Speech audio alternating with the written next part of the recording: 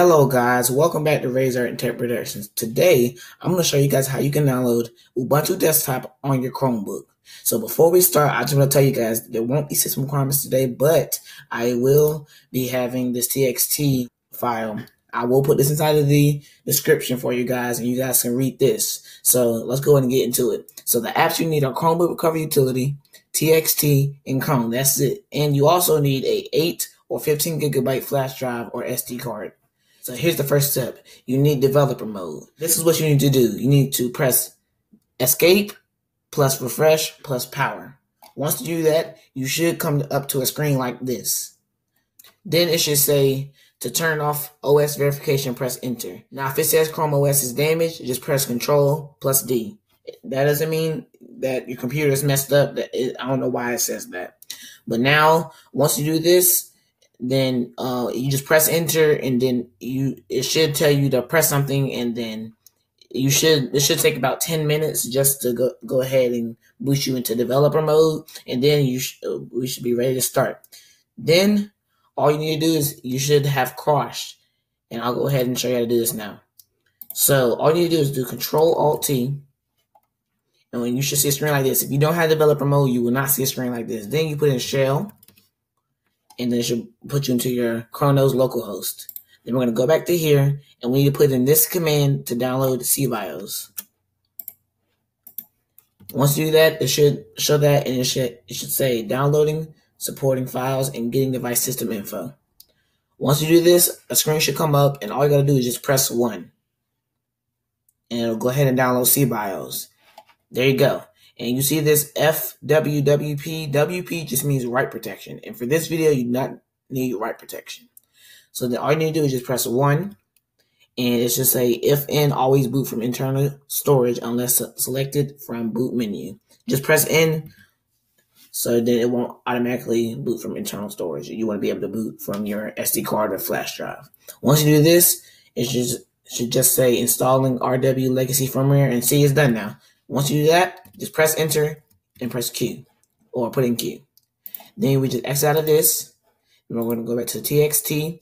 And now all we need to do is just go to this website. I will put the link to this website inside the description. One, you should see this screen. You just press download. And then it should bring you to this one. Thank you for downloading Ubuntu desktop. And then this is 2.6 gigabytes, so it shouldn't take long. And then I already have it, so don't uh, worry. Uh, you guys need to make sure you have it. Don't worry, you guys need to have it. I don't.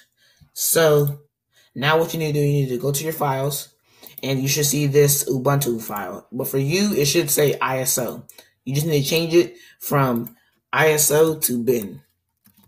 And then you need to change all of those words from that to Ubuntu so you'll be able to uh, do it better. So then once you do this, you need to download Chromebook Recovery Utility. Once you have this, you just go into here and you need to make sure you have your flash drive or SD card near you. You go ahead and plug it in. Once this is plugged in, then you should just go up here, do use local image, and you should see your .bin file. There you go.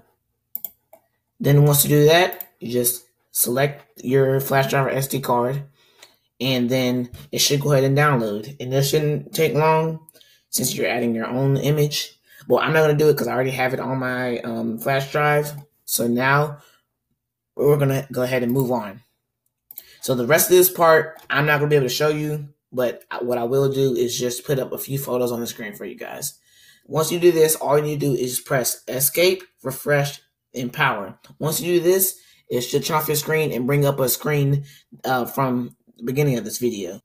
All you need to do is plug in your flash drive and then press Control L, like it says right here. And once you do this, it should bring you into a black screen like this. So then once you uh, do that, all you need to do is just press Escape and then press 2, and that should boot you right into Ubuntu desktop. So guys, I'm gonna go ahead and end it right here. Thank you guys for watching. I told you guys this wasn't gonna be long. Please subscribe, like, and remember guys, I'm trying to get to 50 subscribers. So please like and subscribe, and I'll see you guys next time.